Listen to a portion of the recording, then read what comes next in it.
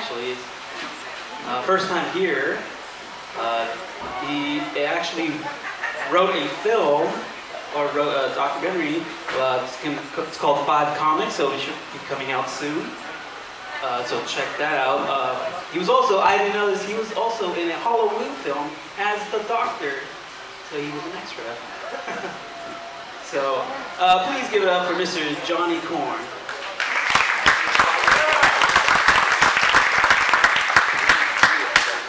Hey Los Banos, how's everybody doing?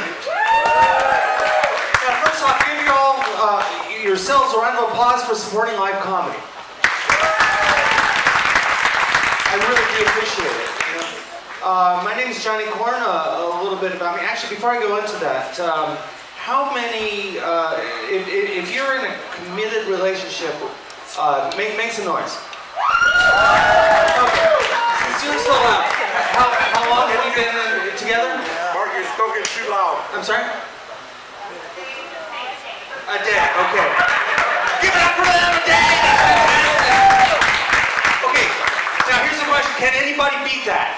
Yes! Okay, more than a day. Okay, how long? Five years? Five years! Get a round of applause. Fantastic. Okay, now who can beat that? Five years. Seven years. 20, wait, 27 years? Awesome, give them a round of applause. That's fantastic. No, the reason why I bring this up is because I've been with my wife for 29 years. It's true.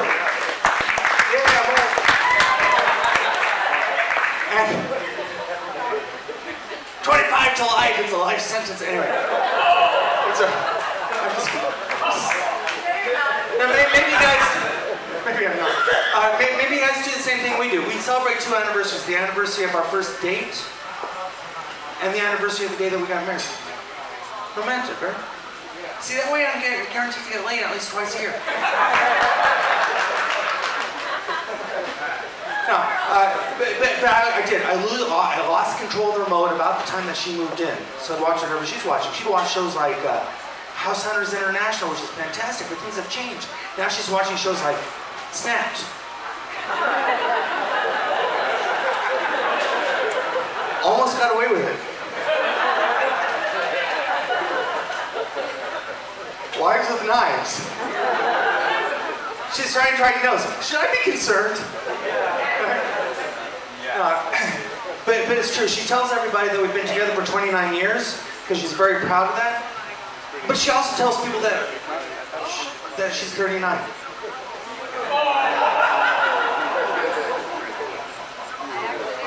She may a pervert, is what I'm saying. Now, now, does anybody here lie about their age?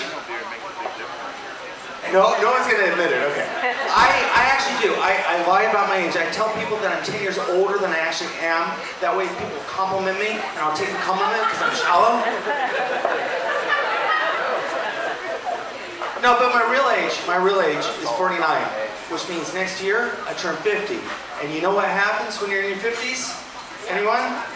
Your AARP card. Yes, that's my license for me to do whatever I want. I can drive down Highway 1, what is it? Well, Highway 99 with my left turn signal on, in my car, lane splitting, going 30 miles per hour for 20 miles. I'll get pulled over by a cop, and when that happens, I'll whip out my AARP card. That's what it's good for. Cop's gonna look at it, look at me, look at it, look at me, look at it, look at me, and finally go, ah! Drive a little old, that's funny. You would have got away with this anyway because you're white. And kind back to me. That's the first time I've had an applause break for that joke. Yeah. Uh, but it's true. Uh, not, only that, I do have three older sisters. And, uh, and, and so I'm the oldest son. I have three older sisters. And you know what that means? Hand-me-downs.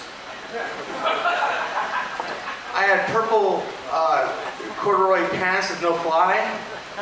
I, I had a huffy uh, that, that was pink with tassels and a banana seat. Yeah, it's like my parents wanted me to get beaten up. It's just. But, but a little bit more about me. I was born uh, Irish Catholic. And as a good Catholic, you have to give up something for Lent. So this year, I gave up my New Year's resolution. No, I'm, I'm a true Catholic in that I go to church twice a year. Christmas and Easter, for those of you who are going like, what? But, but here's the thing. I, I imagine the gospel. I don't know if anyone else is like this, but I, I am ADD and I have a hard time sitting still. So sitting still for a mass, that's hard. So what I do is I imagine the gospel as if it took place today. Know it was like 2,000 years ago. So for, for example, there's a story about Barabbas or Jesus who's going to be set free by Pontius Pilate. Who's going to let the crowd decide, right? But that was 2,000 years ago. So if it took place today, it'd be in the form of a reality show. Here we go, something like this. I'm Pontius Pilate, your host, and welcome to Crucifixion, the show where you, the people, get to decide who gets to live and who gets to die. So let's meet our contestants. First, we have Barabbas Nefarious up against Jesus H. Christ. Now, the H stands for Hubert, which is his middle name, a little trivia. So if you want Barabbas to live, then text to 666. Unless you're German, then it's 999. But hold your phone upside down if you're German. Phone lines will be open for another three hours. What's that? We have the results? Well, the West Coast student doesn't get the, well, the West Coast doesn't count anyway. Okay, so the person that's going to be free is Barabbas, but Jesus, you got a consolation prize, and this week it's death. But before we nail you, let's bring in the apostles and get one last song. Come on in, apostles. Now, I doubt Thomas will be here, and Judas is hanging outside, but we'll bring in the rest of the apostles. Come on in. I'm Pontius Pilate reminding you, I'm washing my hands of this whole show, so filling in for me next week will be Ryan Seacrest. Until then, peace out. And then Jesus is sitting there going like, I don't like reality shows. Am, am I alone in this?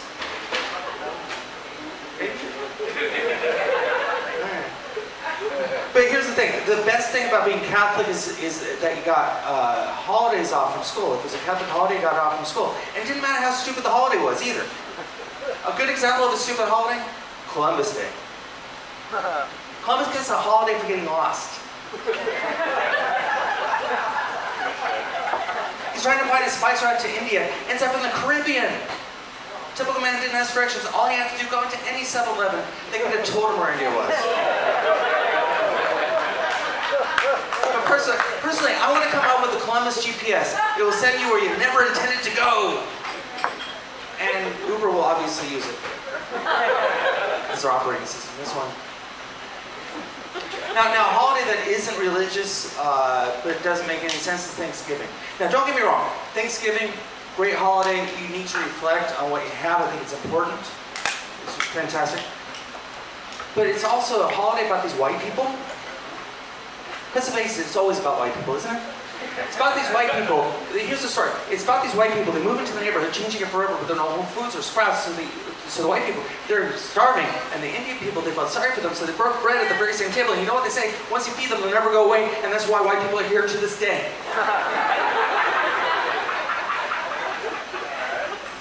But we never talk about the second Thanksgiving, right? The second Thanksgiving is when the Indian people, Indian people are cold, and the white people get blankets. Too soon for a smallpox joke. Okay. it's only been 2,000. No, it hasn't. 200 years since the Trail of Tears. Okay, I'll move on to Christmas. Any parents here? Any parents here? Make some noise if you're a parent. Now this is for you all, okay?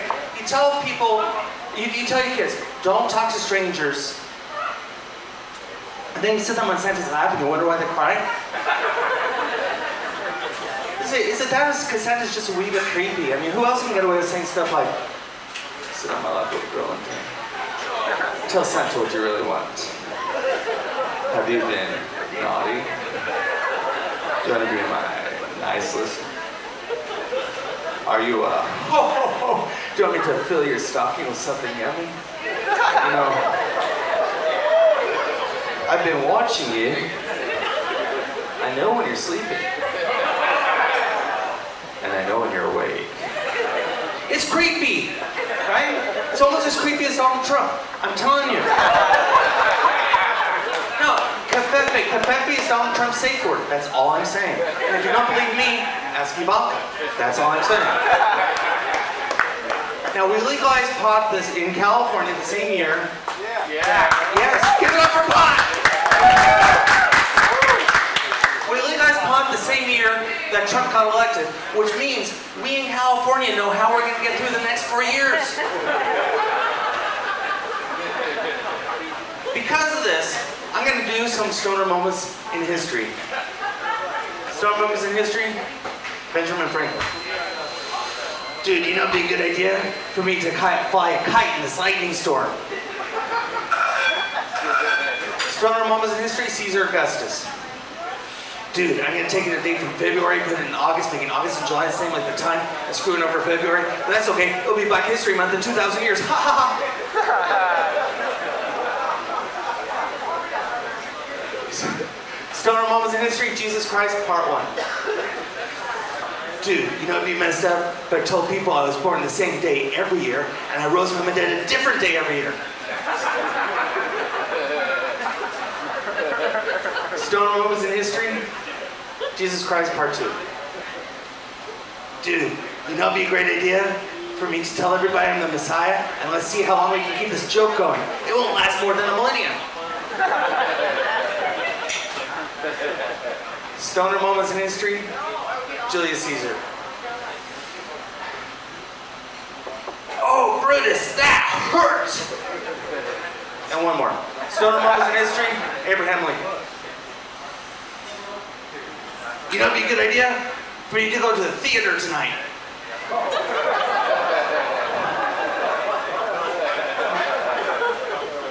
You guys have been an awesome audience. Group hug. You guys, thank you.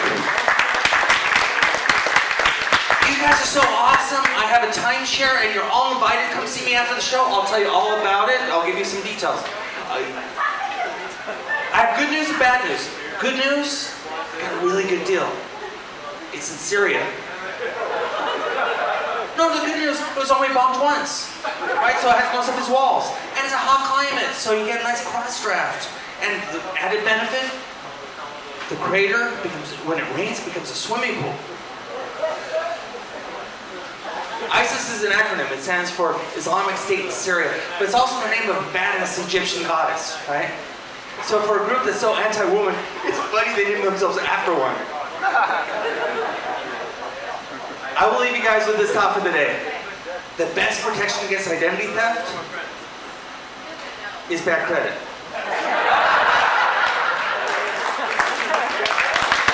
I'm Johnny Corn. Have a great tomorrow. Thank you.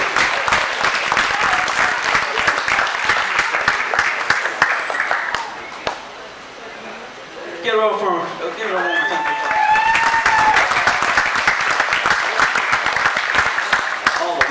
All